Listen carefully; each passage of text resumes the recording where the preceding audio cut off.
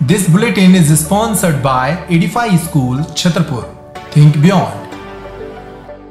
सतना में भी प्रदेश के अन्य शहरों की तरह पिछले कुछ दिनों से कोरोना मरीजों की संख्या में ज़बरदस्त इजाफा हुआ है बताया जाता है कि कोरोना के बढ़ते आंकड़ों के पीछे की बड़ी वजह बाहर से आने वाले यात्री हैं इन दोनों बड़ी संख्या में लोग दूसरे शहरों से सतना आ रहे हैं वहीं कोरोना की दूसरी और भयावह लहर ने एक बार फिर से प्रवासी मजदूरों को उसी एक साल पुरानी स्थिति में ला दिया है।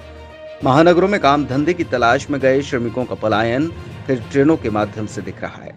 मुंबई, गुजरात से आने वाली ट्रेनें इस कदर पैक हैं कि यात्रियों को पैर रखने तक की जगह नहीं मिल रही है। श्रमिकों को भय है कि अचानक फिर से कहीं ट्रेनें बंद ना हो जाएँ। पिछले साल 21 मार्च से कोविड 19 के फैल रहे संक्रमण को रोकने के लिए नियमित ट्रेनें बंद कर दी गई थी। तो लॉकडाउन में फंसे श्रमिक पैदल ही अपने घरों की ओर निकल गए थे, लेकिन इस बार ट्रेनें चल रही हैं और श्रमिकों को किसी भी हालत में अपने घर पहुँचने की चिंता सता रही है। यहाँ कोविड संक्रमण तेज़ी से पाँव पसार रहा है। ज़िले के तीन लोगों की संक्रमण से मौत हो गई तो वहीं बहत्तर नए पॉजिटिव मरीज़ मिले हैं। संक्रमित मरीजों में यूनियन बैंक का कर्मचारी, नर्सिंग इंचार्ज के अलावा चित्रकूट विधायक के सात कर्मचारी हैं। लगातार मिल रहे मरीजों की संख्या और मौतों ने प्रशासन की चिंता बढ़ा दी है। जिनकी मौत हुई है वे सतना ललता चौक ताला और कोनरिया कोठार के रहने वाले हैं।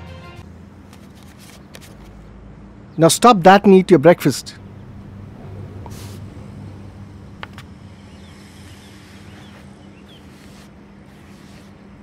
अरे अरे।